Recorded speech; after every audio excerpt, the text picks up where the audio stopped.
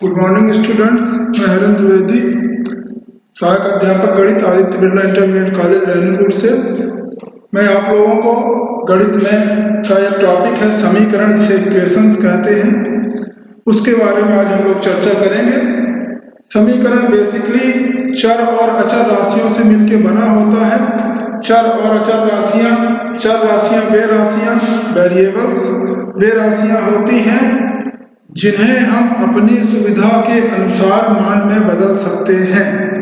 जैसे X Y Z, P, Q, यानी जितने भी अल्फ़ाबेट होते हैं, सभी को हम अपनी सुविधा के अनुसार, जैसे हमने मान लिया कि एक्स बराबर दो वाई बराबर तीन, यानी इनको अपनी सुविधा के अनुसार हम जहाँ पे चाहें तो वहाँ पे मान मान सकते हैं कंपेयर कर सकते हैं।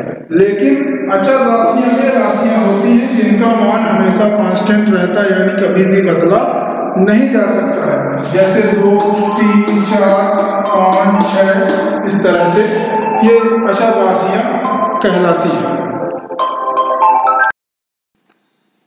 जैसा कि आप लोग बोर्ड पे देख रहे हैं, समीकरण को मुख्य तीन भागों में बांटा गया है। एक रैखिक समीकरण होता है, दूसरा द्विघात समीकरण और तीसरा बहुपद। रैखिक समीकरण मतलब लीनियर इक्वेशन लीनियर इक्वेशन रैखिक से नाम से ही पता चलता है, यानी एक रेखा में जो सरल रेखा को निरूपित करें।